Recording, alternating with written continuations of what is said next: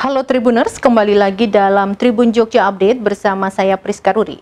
Pasangan calon nomor urut 2 Prabowo Subianto dan Gibran Raka Buming Raka menang di 3 TPS Rumah Sakit Jiwa Kota Singkawang, Kalimantan Barat.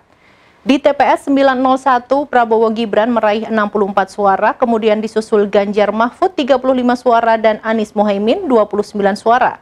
Kemudian di TPS 902, Prabowo Gibran meraih 62 suara, lalu Ganjar Mahfud 34 suara, dan Anies Mohaimin 26 suara. Selanjutnya di TPS 903, Prabowo Gibran 75 suara, Ganjar Mahfud 34 suara, dan Anies Mohaimin 29 suara.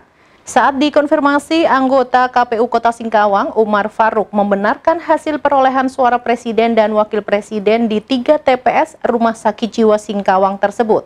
Menurut Umar, pelaksanaan pemilihan di tiga TPS RSC Singkawang berjalan lancar dengan disaksikan langsung oleh para saksi dan pengawas TPS.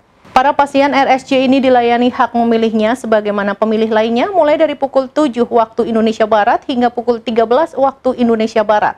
Umar menjelaskan hasil di tingkat TPS itu masih akan digelar rekapitulasi tingkat kecamatan pada 15 Februari sampai dengan 2 Maret 2024. Kemudian proses rekapitulasinya dilakukan secara berjenjang hingga ke tingkat pusat. Sebagai informasi berdasarkan hasil quick count dan exit poll yang dirilis berbagai lembaga survei, pasangan Capres dan Cawapres nomor urut 2 Prabowo Subianto dan Gibran Raka Buming Raka menempati urutan pertama dengan perolehan suara di atas 51 persen. Sementara di posisi kedua ditempati pasangan nomor urut 1 Anies Baswedan dan Muhaimin Iskandar. Serta di posisi ketiga yakni pasangan Capres dan Cawapres nomor urut 3 Ganjar Pranowo dan Mahfud MD. Demikian berita terkini terkait pasangan Prabowo Gibran yang menang di 3 TPS Rumah Sakit Jiwa di Singkawang. Ikuti terus berita-berita terkini hanya di Tribun Jogja Update. Saya Priska Ruri dan segenap kru yang bertugas pamit undur diri.